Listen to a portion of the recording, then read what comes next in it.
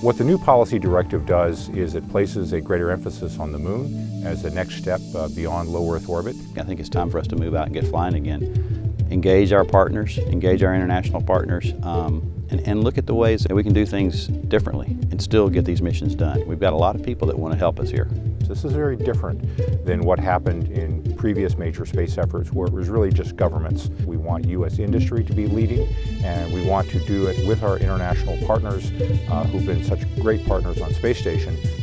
Yeah, the space station, of course, is our, our, our preeminent testing ground right now for anything we want to do. It's, it's the first stop uh, in low Earth orbit.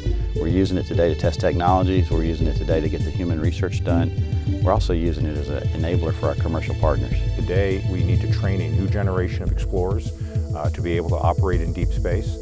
SLS and Orion, of course, is going to be set up not only to just do the, the moon, but as, we're trying to be extensible to Mars. We don't want to lose that horizon goal as we go forward.